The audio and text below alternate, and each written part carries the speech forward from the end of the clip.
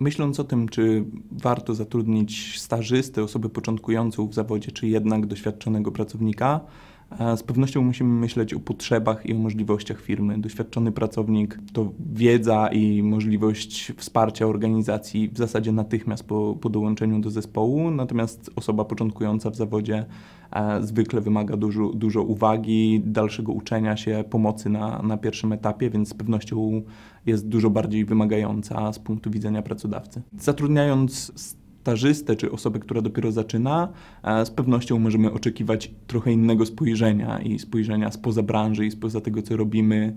E, też e, osoby takie nie mają nawyków, które mogłyby nam się nie podobać, więc te nawyki możemy prawie dowolnie kształtować i e, rozwijać kompetencje, dokładnie te, które są nam potrzebne. Z pewnością robią to korporacje i większe firmy, dlatego że są w stanie oddelegować zasoby i bardziej doświadczonych pracowników, którzy mogą uczyć tych nowych. Jeśli chodzi o zarobki, zwykle mm, pensja początkującego pracownika jest kilka razy niższa nawet niż, niż doświadczonego specjalisty. To jest kwestia wyboru między mm, tym, czy potrzebujemy doświadczenia, które musimy od razu wykorzystać e, w działaniu firmy, e, czy możemy pozwolić sobie na inwestycje w mniej doświadczonego pracownika. Z pewnością zatrudniając osobę początkującą, stażystę, musimy poświęcić dużo uwagi na, na jej nadzór, E, po to właśnie, żeby nie obawiać się złych decyzji, które z braku doświadczenia czy z braku wiedzy taka osoba mogłaby podjąć. Myślę, że specyficzną branżą jest IT, gdzie e, stażystów i osoby początkujące zatrudnia się bardzo często i w bardzo dużych ilościach,